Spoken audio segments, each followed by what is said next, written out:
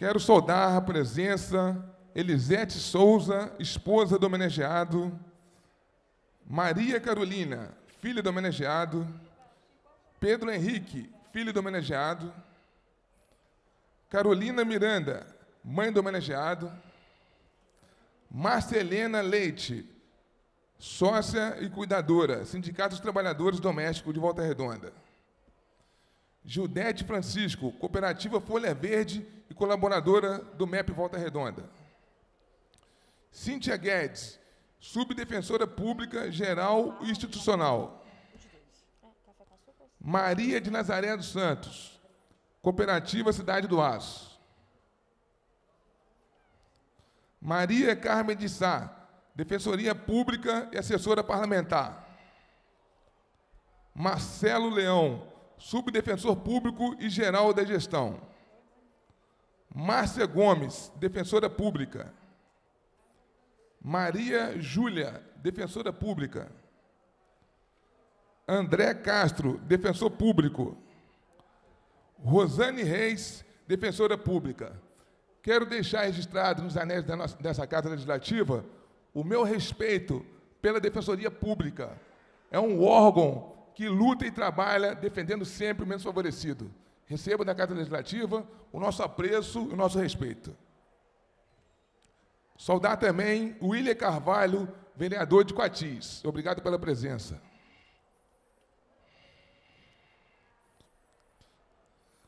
Primeiramente, obrigado pela presença de cada um de vocês.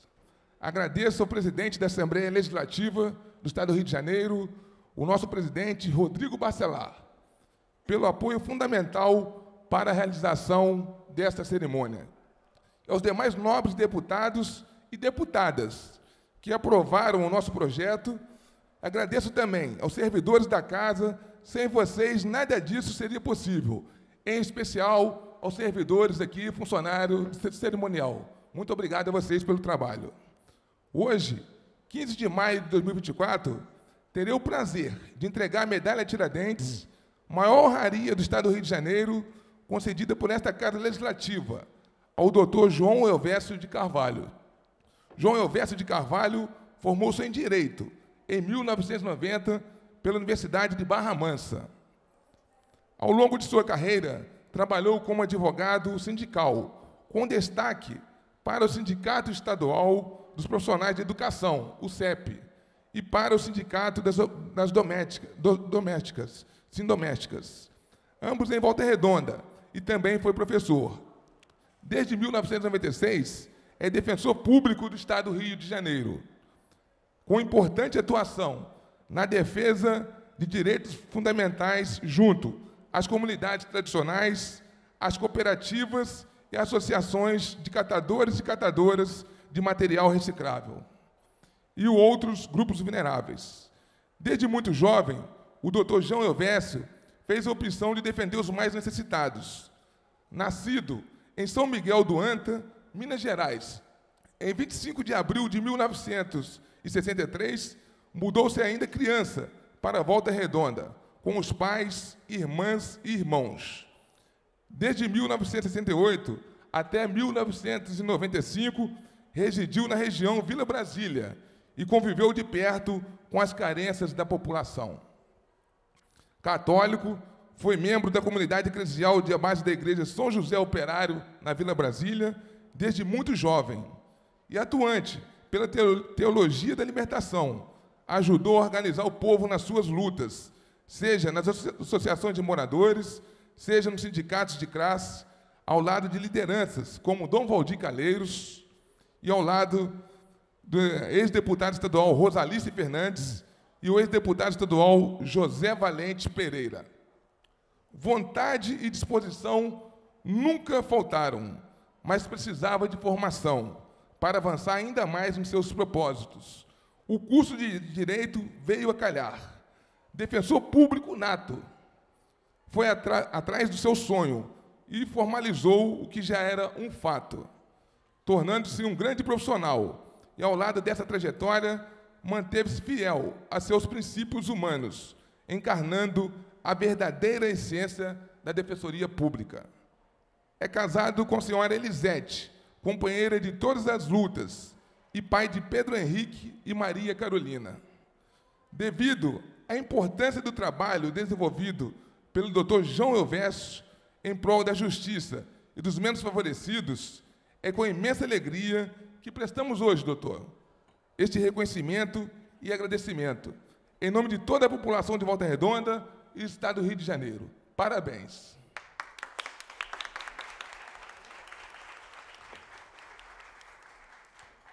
Convido para fazer uso da palavra a senhora Georgina dos Santos. Tá tá? Eu vou ficar em pé, viu? Boa tarde a todos, que acho que já deu meio-dia, né? Então, eu, quando o Jari fala, deputado estadual Jari fala, João Elvésio, nós de Volta Redonda, a gente fica um pouco assim, estranhamente, porque para nós, população de Volta Redonda, é o nosso Joãozinho. Nós sempre conversamos assim, falando Joãozinho. Em respeito ao João Elvésio, eu me começo falando do Joãozinho. Aquele rapaz que chegou lá na antiga sede da CUT para ajudar a Associação das Empregadas Domésticas, que na época a gente não tinha um advogado, uma pessoa que nos orientasse. E tínhamos duas irmãs que era, era e é fã dele até hoje. Então, o que, que aconteceu?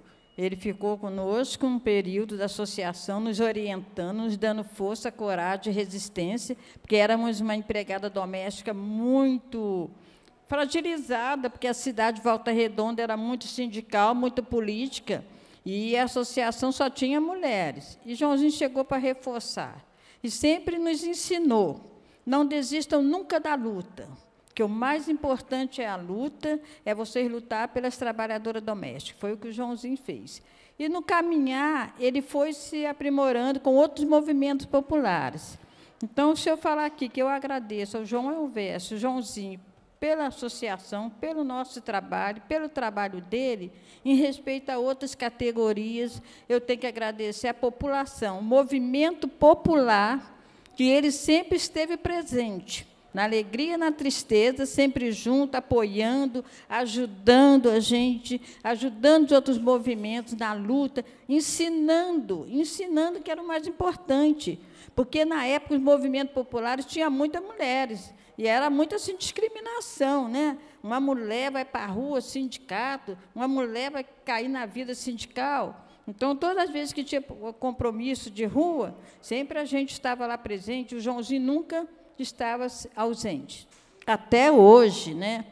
Nós fizemos trabalho de cesta básica na pandemia, o Joãozinho sempre presente, nos dando força, coragem e resistência. Isso é mais importante. Então, eu quero agradecer aqui ao deputado Jari, em nome de toda a categoria do trabalhador doméstico, porque hoje eu comuniquei à federação que estaria aqui, a FENATRAT, né, nesse evento. Agradecer a você, Jari, pelo incentivo, pela nossa luta e pelo nosso respeito que eu tenho por você como deputado estadual da cidade de Volta Redonda. A gente fala do Estado, mas de Volta Redonda. E ao Joãozinho, eu, eu não tenho o que falar dele. Né? Ele foi aquela pessoa que foi crescendo, foi pegando né, muita sabedoria.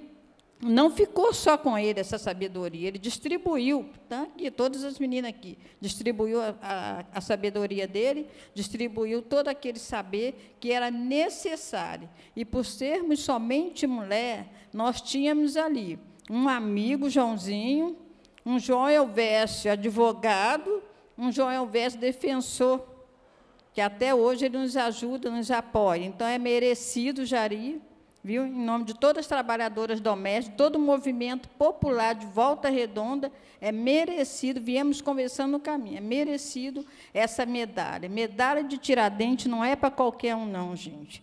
É uma medalha importantíssima. E, justamente, Jari deu a quem merece. Muito obrigada, Jari.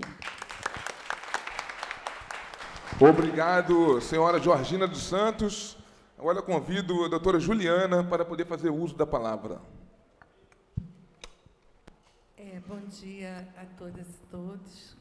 Cumprimentar a senhora Georgina dos Santos, representante do Sindicato dos Empregados Domésticos de Volta Redonda, né, que tanto representa na vida do João, né, é, minha querida amiga Patrícia Cardoso, minha DPG, companheira, colega mais de 30 anos. É, eu cumprimentaria todos os defensores na sua pessoa, mas hoje eu vou deixar para cumprimentar todos os defensores e defensoras na pessoa do homenageado. É, meu querido colega João Elvésio, na pessoa de quem cumprimento todos os defensores e todas as defensoras públicas do Estado do Rio, excelentíssimo deputado Jair Oliveira, né, pessoa de quem eu cumprimento todos os deputados e deputadas é, do Estado do Rio de Janeiro, e quero dar os parabéns por, por ter homenageado o João com essa a maior comenda né, do Estado do Rio de Janeiro, que é merecidíssima. É, vou falar com todo o meu coração, João. Eu digo que a defensoria, 30 anos na defensoria, muitos afetos a defensoria me proporcionou. E você é um deles, um afeto que eu trago muito no coração. E eu e João, nós nos conhecemos na luta classista, né, João? Lá na Adisperge. É, fomos a dois fóruns sociais mundiais juntos, lá em Porto Alegre. E João é um grande, é um defensor extremamente vocacionado e é um lutou muito pelo fortalecimento da instituição, né? Nós, eu entrei na defensoria em 94 nós sabemos o quanto a Defensoria do Estado do Rio de Janeiro, que é a mais antiga do Brasil, mas o quanto ela se fortaleceu nesses 30 anos, e tem muito trabalho do João aí nesse fortalecimento. Né? Muita luta institucional, Mas fortalecer a instituição para quê? Para a defesa da população vulnerável. O João nunca perdeu o foco do, do para que a Defensoria Pública, qual o objetivo da Defensoria Pública, o porquê da existência da Defensoria Pública. Então, eu só vou ser breve, só posso dizer, João, que essa é uma homenagem muito mais que merecida. Onde eu vou, que as pessoas te conhecem, falam com extremo carinho, até estava contando, né, que acho que o subdefensor público do Maranhão foi companheiro de luta sindical de João lá em Volta Redonda e fala com uma admiração absurda né, e muito merecida. Então, deputado, tenha certeza que essa homenagem é muito mais do que merecida. O João é uma pessoa admirável, extremamente vocacionada e que nos inspira. Então, parabéns, João. Obrigado, doutora Juliana. Agora eu convido a doutora Patrícia Cardoso, defensora pública geral do Estado do Rio de Janeiro, para poder fazer uso da palavra. Boa tarde a todas as pessoas presentes. Gostaria de cumprimentar a mesa, começando pela dona Georgina.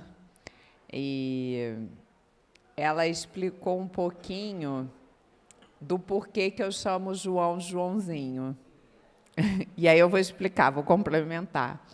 É, a doutora Juliana Linst, minha querida amiga é, e presidenta da minha associação, é, deputado Jari, é, muito obrigada por proporcionar esse momento a todos nós e cumprimento o senhor, é, cumprimentando todas as deputadas e os deputados é, da, dessa Casa Legislativa, que é a Casa da Defensoria.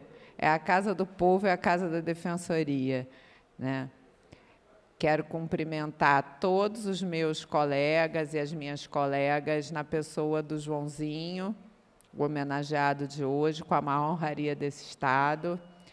E, fazer um cumprimento especial a, a, a quem está aqui assistindo, na pessoa da Elisete, porque é, com certeza todas as lutas que o João conseguiu travar, elas aconteceram porque você estava lá, do lado dele, né? E construindo uma família tão bonita. É, por que, que eu chamo Joãozinho de Joãozinho? Porque eu conheci o Joãozinho antes dele ser defensor público. E ele era o Joãozinho, né? Eu cheguei em Volta Redonda em 94 para 95. Joãozinho ainda não era defensor. Ele não tinha tomado posse como defensor, mas ele já era defensor público. E, e eu não consigo chamar ele de um jeito diferente, ele sabe disso, né, Joãozinho? Porque a minha, é, a minha amizade, a minha e, e, todo o aprendizado que a gente, todos nós que estamos aqui, defensoras e defensores, é, com, a gente aprendeu muito com o João, com a luta do João, com, com a forma como o João é, conduziu a sua carreira profissional, nunca se desligando da sua essência da, de, de estar com as pessoas, de estar com os movimentos sindicais.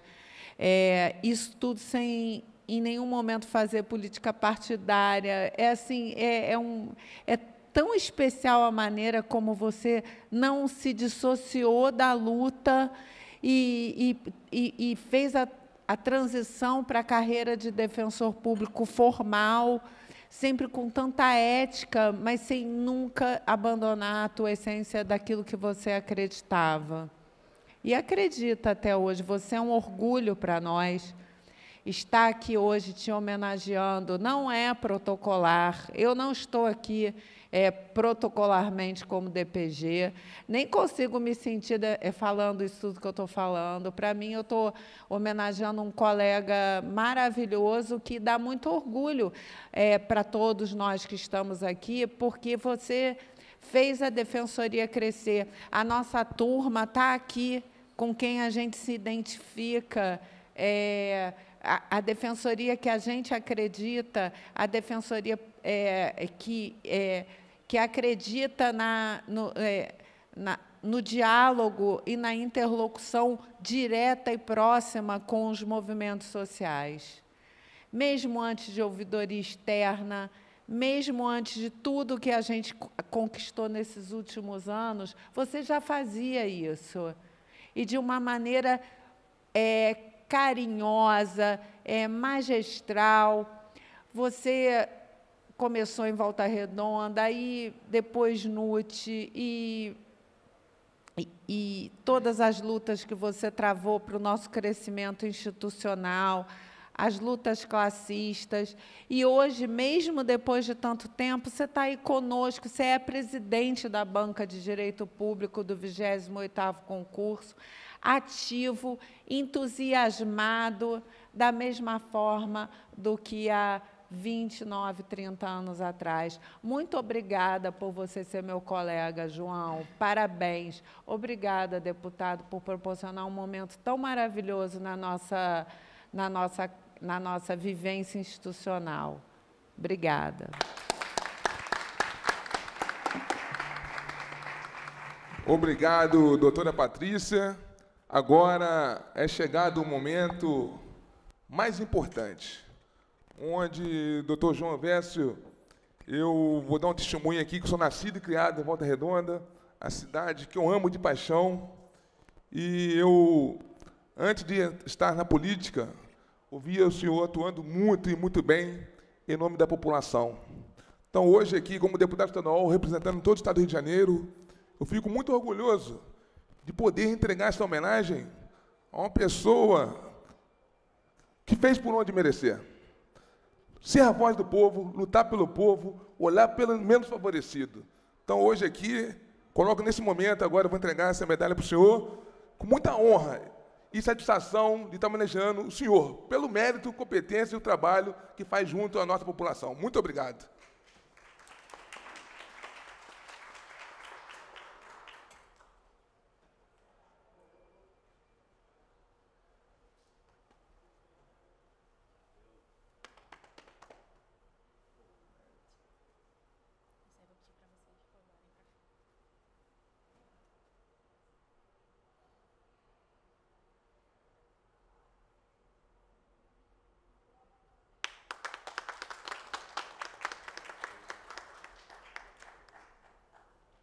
Agora, passo a palavra ao nosso homenageado, doutor João Elverso.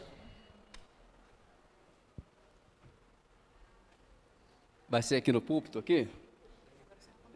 Eu trouxe a cola. É, mas antes, da, antes de falar, eu queria dizer que nós temos um lanchinho esperando a gente aqui em cima. E eu queria fazer propaganda do lanchinho, depois eu vou copiar para todo mundo é uma senhora do sítio Santa Bárbara, lá de Magé, a Juliana, uma paraibana, que tem um trabalho com economia solidária e agricultura familiar.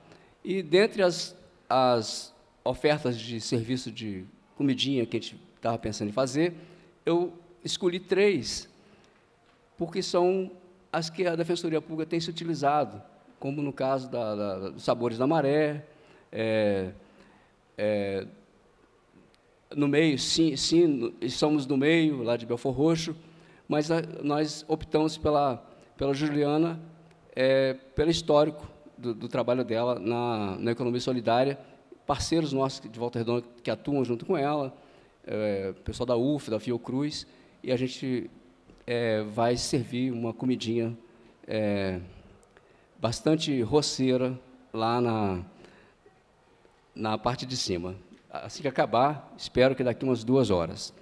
É, eu não esperava que seria exatamente isso, não, sinceramente, porque quando recebi da Maria Carmen a, a informação de que a gente seria agraciado com essa medalha e com esse diploma, com essa homenagem tão rica, é, logo a assessoria do, do, do deputado me perguntou quem que eu gostaria de convidar. Eu fiquei estupefato. Falei, convidar, como é que é assim? Como é que é convidar as pessoas, né?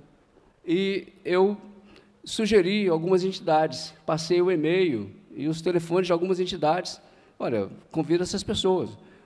Um grupo de Volta Redonda se organizou lá, né, com todas as suas forças, e veio numa Kombi, trazendo aqui nove pessoas é, que são é, o símbolo das lutas populares de Volta Redonda. Né? Também convidei, e é uma ausência sentida, a Rosalice Fernandes, que é, foi uma grande incentivadora, precursora das nossas lutas em Volta Redonda. Assim que ela saiu da cadeia é, e, reassumiu o trabalho após a anistia, é de re, rearticulação do movimento popular e movimento sindical em Volta Redonda. Então, foi com ela que a gente aprendeu muito. Né?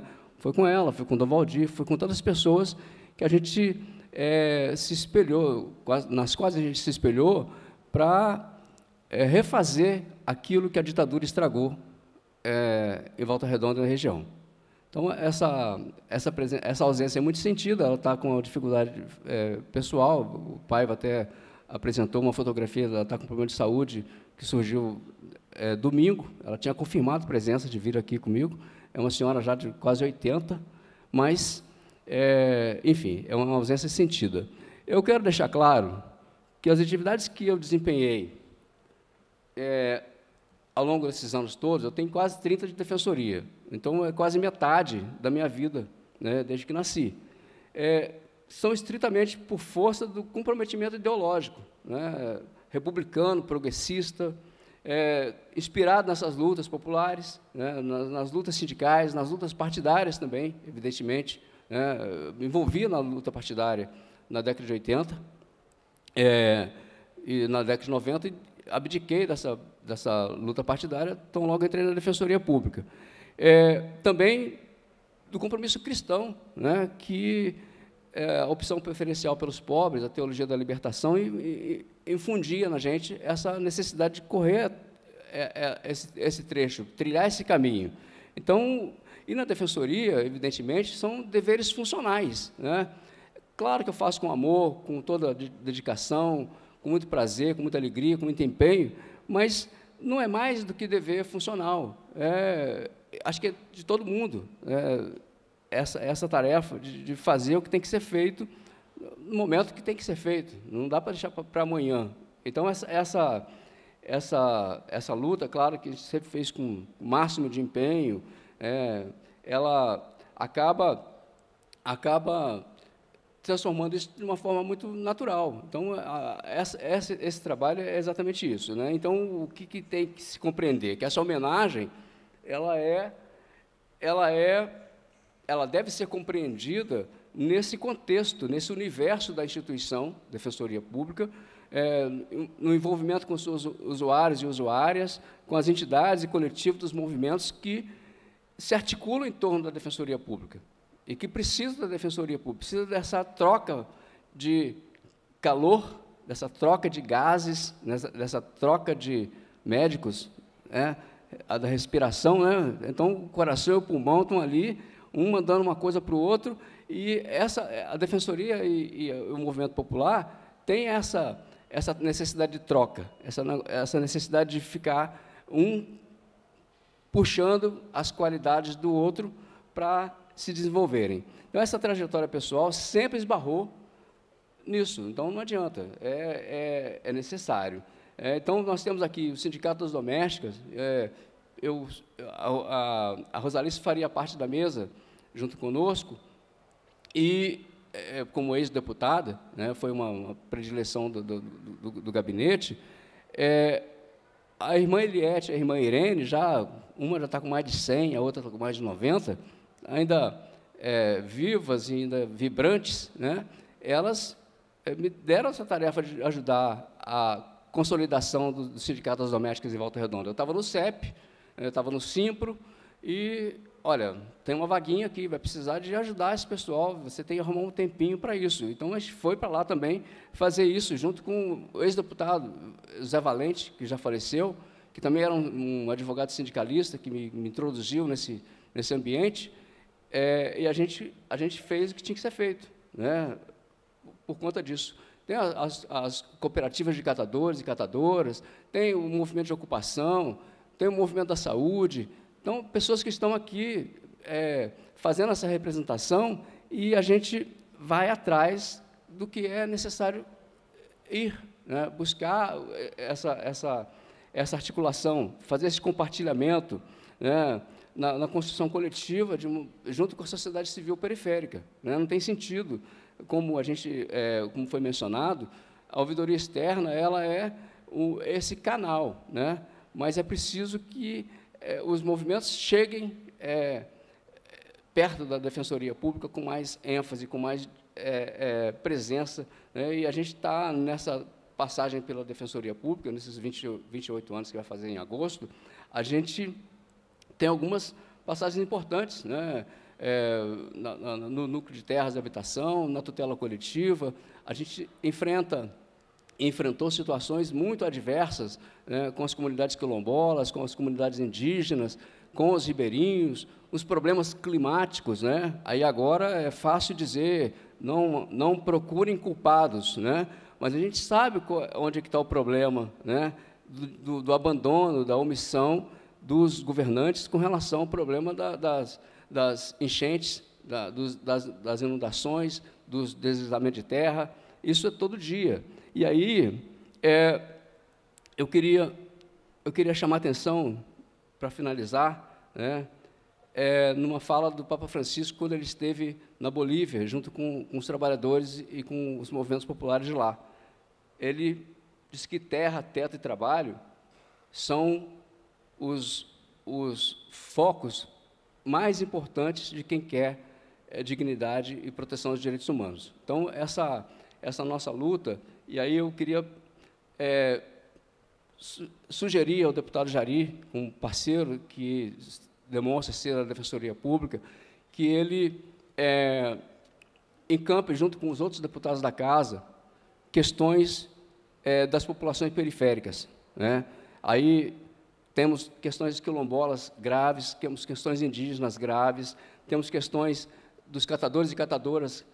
É, a gente lamenta ver andar atrás de um caminhão de lixo com um desperdício imenso de material reciclável indo para aterro é, com prefeituras querendo fazer incineração, com é, a gente tendo que ficar brigando na justiça para ter as coisas resolvidas, é, brigando no TCE para fazer é, para fazer que as prefeituras cumpram o seu dever. Isso foi não só em Volta Redonda, como em Resende e tantos outros lugares.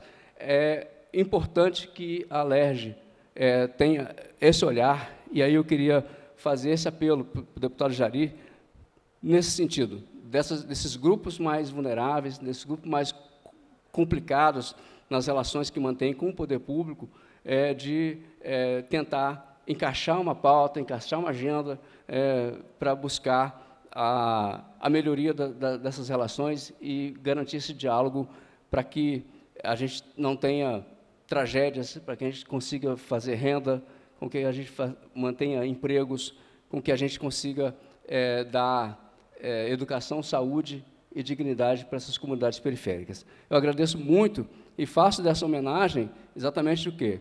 Uma bandeira a mais para a gente se comprometer, para a gente é, desempenhar essas atividades. Porque se a gente veio de, volta, de, de Minas Gerais, né? minha mãe, meu pai, é, meu, meus santos irmãos e irmãs, é, não foi para ficar é, aqui é, passando, a gente está com essa disposição. E a gente está, é, a minha mãe está aqui, meu pai está com dificuldade de, de, de, andar, mas, enfim, se estivesse aqui também, estaria contando mais histórias do que eu. Mas é, é isso, a gente é, agradece por, por, por, viver, agradece por estar aqui, agradece por, por ter essa, esse amor, essa, esse afeto. Né? Eu quero só mais um detalhe, não posso esquecer.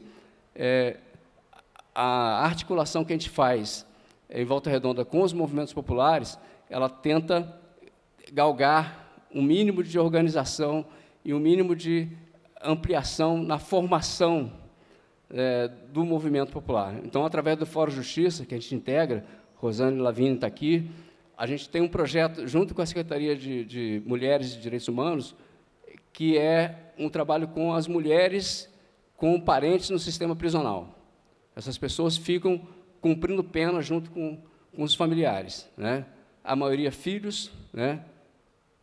a gente já levantou, e esse trabalho dessa, com, com, essa, com, esse, com esse projeto é exatamente isso: é dar informação e dar formação para essas mães, para dizer que elas não são a mãe de um preso, são várias mães com vários presos e elas precisam saber que há por trás disso um problema racial, um problema de discriminação, um problema sociocultural, econômico, que elas precisam saber, conhecer isso para poder reagir a isso de forma mais eficiente. Muito obrigado.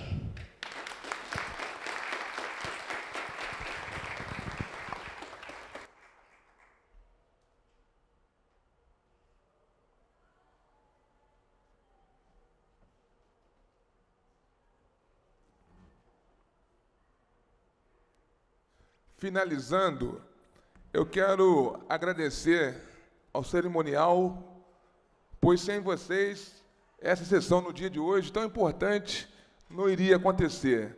E quero reiterar aqui o meu respeito ao homenageado, doutor João Elvésio, e à Defensoria Pública, e colocar nosso mandato, doutor, à inteira disposição da população. Uma das principais marcas do nosso mandato é a participação popular. E vamos rumo ajudar o povo do Estado do Rio de Janeiro. Conte com a gente, dou para encerrar a sessão e o convite do doutor para o coquetel aqui na galeria, tá bom? Vamos lá.